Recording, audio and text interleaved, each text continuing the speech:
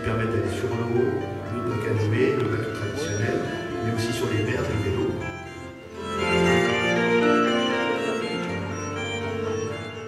Ça s'inscrit clairement dans la démarche que nous avons engagée au niveau du Conseil général il y a maintenant deux ans, ce projet de développement territorial qui a été labellisé Agenda 21, qui est de dire, nous la Nièvre, nous sommes un territoire où nous n'avons pas renoncé au développement, nous n'y avons pas renoncé, mais dans une logique durable, c'est-à-dire en étant à la fois attentif à l'environnement, mais en sachant en tirer tout le parti pour construire l'avenir de notre département. En fait, ce que nous voulons sur le plan économique et sur cette partie de l'économie qui est le, tourisme, c'est en faire là aussi un laboratoire de l'éco-développement, d'être un territoire d'excellence. Nous engageons les communautés de communes qui veulent le faire se lancer dans des agendas 21, qui est une labellisation sur cette manière de faire. Nous engageons les acteurs du tourisme à se lancer dans des certifications prennent en compte les enjeux environnementaux, ce que fait d'ailleurs l'Agence départementale du tourisme qui a une labellisation ISO, je ne, ISO, je ne sais plus combien. L'idée, c'est que si nous faisons tous, petit à petit, nous pouvons qualifier notre territoire comme étant un territoire d'exception et d'excellence sur sa manière de penser et construire son développement en s'appuyant sur ses ressources naturelles et sur son environnement. En tout cas, moi, c'est la perspective que je souhaite vous faire partager et bon travaux. Que l'activité touristique est une de celles qui résiste le mieux à la crise. Donc, fort de ces constats, vous comprenez que euh, l'ensemble des collectivités que nous représentons, et le Conseil régional pour ma part, est particulièrement attentif au développement d'une politique efficace en matière touristique. Nous intervenons euh, tout d'abord en investissement sur la structure touristique, euh, je veux dire par là, pour euh, tout ce qui est les investissements, l'accompagnement des investissements sur les aménagements et les équipements touristiques. Nous intervenons également en matière de formation, tu l'as dit euh, Jean-Louis, c'est aussi quelque chose d'extrêmement important, et puis également bien sûr au travers du CRT en matière de promotion. Vraiment effectivement que nous jouons collectif, parce que le tourisme, moi je suis pris mon poste de vice-présidente il y a un peu plus d'un an maintenant, et quand je suis arrivée dans le secteur, je me suis dit, le tourisme c'est compliqué, ça part dans tous les sens, il y a euh, 100 000 acteurs différents, et en fait on se rend compte que si effectivement on y met de la volonté, et je peux vous assurer que cette volonté nous l'avons tous, eh bien on arrive à mettre en place des outils qui sont structurants, et ça sera euh, la Nièvre qui gagnera, et, et la Bourgogne aussi.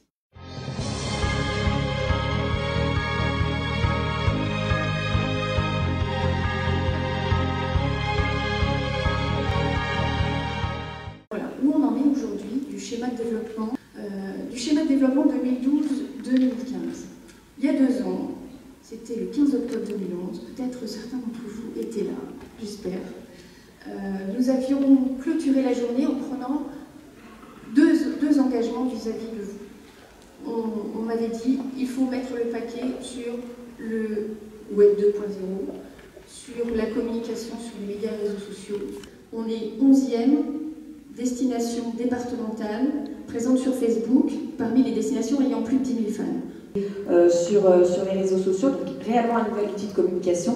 Euh, là aussi, un gros engagement pour l'équipe, puisque c'est un suivi aussi quotidien. C'est un outil de dialogue avec les, avec les touristes, donc on a des questions, des réponses tous les jours, donc effectivement, il faut, il faut suivre. Et puis s'adresser là aussi à deux types de publics. là, à la fois les locaux, qui représentent 40% des fans, et puis à des touristes qui représentent 60% des fans. Oui, ça c'est important, parce qu'on parle notamment de tourisme. Et la deuxième, le premier argument que vous avez donné, et qui est notre fil conducteur aujourd'hui, ben, c'est on n'était pas seul. On a, on a été accompagné. Et ça, je crois que c'est une caractéristique aussi en matière d'attractivité sur l'accompagnement des porteurs de projets, dont un certain nombre de partenaires est ici présent. Ça, c'est important aussi. C'est que j'ai fait mon voyage. C'est pas un voyage c'est mon voyage. Une cliente qui consomme notre destination, vous voyez comment elle peut être porteuse à la fois de, potentiels prospects, mais aussi d'ondes positives. Je vais parler d'ondes positives par l'expérience qu'elle transmet et qu'elle donne envie euh, à réaliser à d'autres personnes. Et ça, c'est important. Et là, sans le savoir, sans le rendre compte, elle vient de mettre le point sur nos deux, euh, prochaines années, gros travaux qu'on a à faire collectivement. C'est comment on intègre ces contenus dans les nouveaux dispositifs de communication. dans quelle situation nous sommes au niveau du tourisme aujourd'hui? On est pris entre trois feux.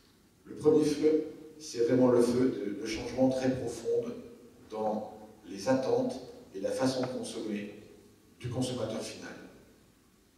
Va y revenir, il y a deux, trois éléments qui sont vraiment des éléments de rupture où ce ne sera jamais plus comme avant.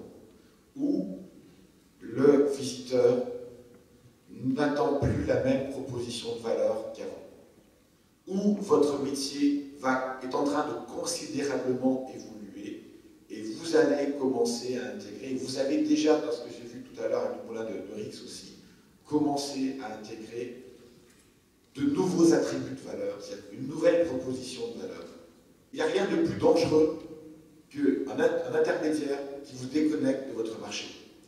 Ça veut dire qu'il vous déconnecte de l'élément le plus important pour vous, qui est de savoir pourquoi les gens viennent dans votre établissement, pourquoi les gens viennent dans votre territoire. Si vous ne connaissez pas ça précisément, vous ne pouvez pas aujourd'hui savoir dans quel sens vous devez créer la valeur.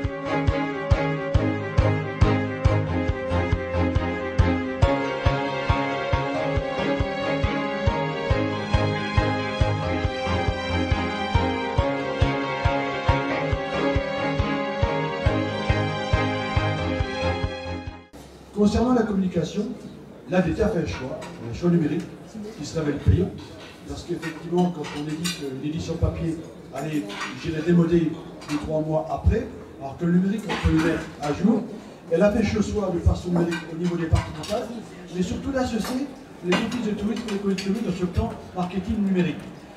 Le numérique est l'allié objectif du développement touristique dans, dans, la Nièvre. On est rentré dans une autre époque, un autre monde, celui, celui des flux. On a beaucoup parlé de, flux touristiques, mais le, flux de l'information est, est, au fond ce qui alimente nos flux touristiques en Nièvre. Et les différents euh, projets aujourd'hui qui ont été euh, menés à bien, je pense singulièrement au, canal numérique, hein, comment on a rendu accessible ce, ce, canal à nos, à nos, touristes qui avaient besoin de, se connecter, besoin d'accéder aux, informations, c'est totalement fondamental. L'autre aspect des choses, bien sûr, c'est la question du tourisme euh, sur les réseaux sociaux, c'est-à-dire comment est-ce qu'on met en valeur un territoire au travers des, des contenus, des histoires qu'on raconte et qui donnent envie, euh, qui, font euh, venir finalement nos touristes parce que euh, on a une histoire singulière à leur raconter, euh, celle d'un micro-territoire, celle d'une commune bien entendu, ou, celle d'un territoire plus important, euh, le Morvan, le Val-de-Loire, la Loire en, en l'occurrence. je crois que la Nièvre aujourd'hui est, bien positionnée sur cette stratégie nouvelle. tout le monde au fond partait à peu près de, de, de zéro, donc il nous a fallu inventer et innover. Je crois qu'aujourd'hui c'est chose faite. Bonne chance à la Nièvre touristique, bonne chance à Nièvre numérique qu'on propose au niveau de, des médias et réseaux sociaux, euh, c'est la seule qui est un accompagnement personnalisé, c'est-à-dire sur mesure, où vraiment on est, on, est, on est, proche de vous pour vous accompagner. Vous déplacez, vous venez dans l'entreprise Alors euh, ça c'est possible, et ensuite ça se déroule en deux matinées, c'est le site, où on va vous accompagner dans un premier temps dans l'élaboration de stratégie euh, marketing, parce que les réseaux sociaux, comme un site internet, on ne part pas comme ça à l'abordage si je puis dire, on va d'abord élaborer une stratégie, c'est-à-dire définir des cibles, des thématiques et puis surtout des objectifs. Qu'est-ce que j'en fais euh, Pourquoi les réseaux sociaux Il faut que, je détermine à qui je veux parler. Moi, je ne suis pas très évoluée dans le domaine de l'informatique hein, et donc euh, ça, ça me permet de découvrir les possibilités qui sont proposées maintenant avec moi. C'est un peu comme des nouveaux médias, je pense, Facebook, etc. Et bon, il y a du vocabulaire, je dois m'adapter à ce nouveau vocabulaire, à ces nouvelles techniques et je pense que c'est extrêmement important dans le domaine de la communication. J'en suis absolument consciente, mais bon, je, suis à un âge où on est moins réceptif, on n'a pas été préparé, et cette démarche de venir ici, c'est important parce que justement, ça permet de se familiariser un petit peu.